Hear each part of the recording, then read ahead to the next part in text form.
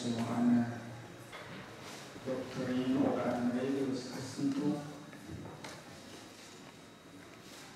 Es fängt mit dem eindeutigen Wort, dass diese wörtliche Regel nicht für jeden Menschen ist.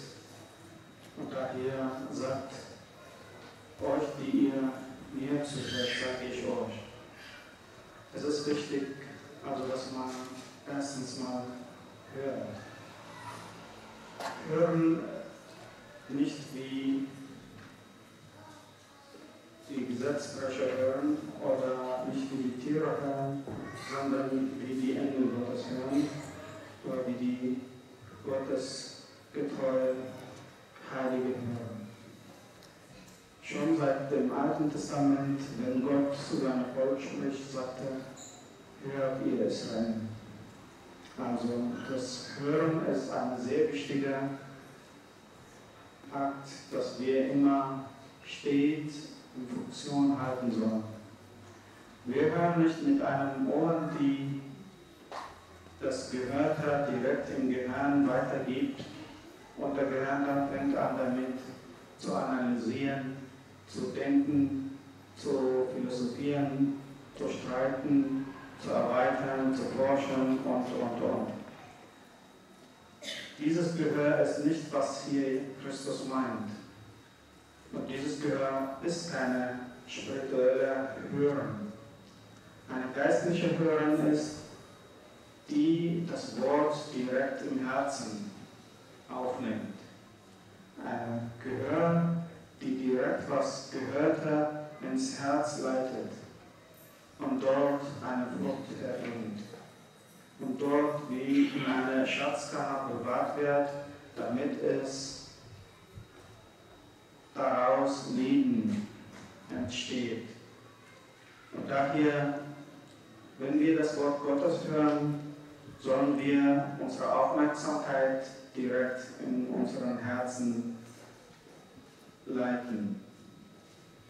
Und wir nehmen das mit Herzen, indem wir begehren und wünschen, das zu öffnen. Das gleiche hat der heilige Antonius gemacht, der nur einen Einsatz gehört hat und damit auch also gelebt hat, dieses Wort. Einer davon ist auch der Heilige unserer heutigen Tag, Ampa Musa, der Schwarze. Moses hat immer einen Wunsch gehabt im Herzen, den wahren Gott zu suchen. Als er dann hörte, dass die Menschen es gibt, darüber ihm Bescheid sagen können, der ist dann direkt hingegangen. Er hat es nicht gehört, um es damit, damit also sozusagen auseinanderzusetzen im Gehirn, sondern er wollte damit leben und deshalb ist auch dorthin gegangen und dort die Väter gefragt, also wer der wahre Gott ist und er hat auch damit gelebt. Und das ist, was unser Christus haben will, dass wir im Herzen hören und auch damit achten. Das Wort unserer heutigen Evangelium, das ist ausschließlich mit Herzen zu hören. Wenn wir das mit Gedanken hören, was hier geschrieben steht oder was wir heute gelesen haben im Evangelium, wir werden durcheinander kommen. Wir werden keinen einzigen Schritt vorangehen, sogar wir werden eine Misstrauen gegen das Heilige Schrift erwecken.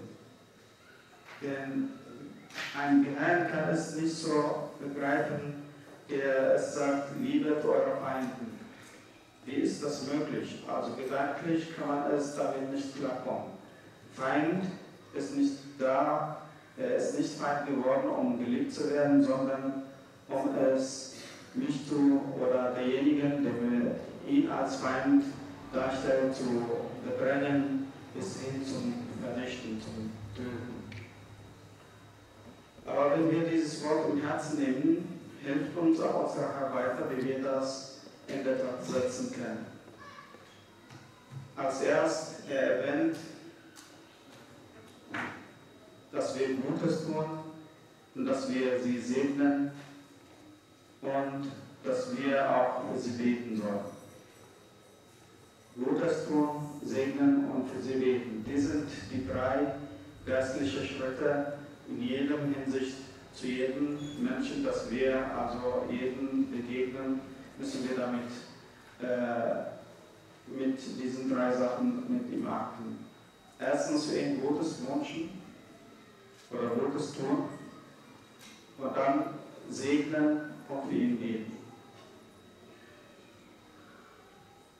Und wenn man so weit ist, da kann man dann die weiteren Schritte dann auch noch also im Herzen nehmen und versuchen in der Tat zu setzen. Denn die weiteren sind also sozusagen eine materielle Akt oder ein körperlicher Akt, nämlich etwas geben. Jemand zu geben und jemand auch mit ihm das, also ihm entgegenzukommen, wie man es also sich gerne hat und gleichzeitig auch jemanden also etwas zu leihen, also etwas zu geben, ohne dass man von ihm erwartet, ob das zurückgeht oder nicht. Und weiter erklärt Christus in diesem Schritt, also wie wir es das vollenden können und was das auch sein soll. Wenn man mit diesem Schritt voran ist und sich also damit gefunden hat, dann kann man es dann das allerwichtigste Punkt noch dazu erfüllen, nämlich richtet nicht Oft ist also Feindseligkeit fängt an, wenn man jemanden gegenüber ihm erstens mal nicht nur kritisiert, sondern ihn verurteilt, ihn richtet. Dieses gegenseitige Verurteilen und Richten. Erstens, man sitzt auf die göttliche Handlung. Gott alleine darf urteilen und richten. Wir aber dürfen also den anderen versuchen zu verstehen und helfen. Es oben gesagt wurde, also ihnen Gutes tun, segnen und auch sie beten. Und wenn es möglich ist, helfen. Und wenn man es fähig ist, auch ihnen was zu geben, soll man ihnen dienen. Aber richten, das steht Gott allein. Und das zweite Punkt hier, warum es gut ist für uns, jemanden nicht zu verurteilen oder zu richten. Denn hier sagt er, mit den gleichen Massen werdet ihr auch verurteilt, mit denen ihr verurteilt. Also wenn wir jemanden richten, werden wir auch genauso mit dem gleichen Härter, mit dem gleichen äh, Art werden wir auch dann gericht, äh, werden wir auch verurteilt oder gerichtet. Und daher sollten wir immer Barmherzigkeit zeigen also immer die Liebe zeigen, die Barmherzigkeit zeigen, also Gutes tun, für sie beten. Wenn wir das tun, dann die Barmherzigkeit Gottes wird uns entgegenkommen. Und deshalb unser heutiges Evangelium wollen wir, dass es in unsere Herzen hineinkommt und für uns das Leben weiter schenkt, er seine Ewigkeit.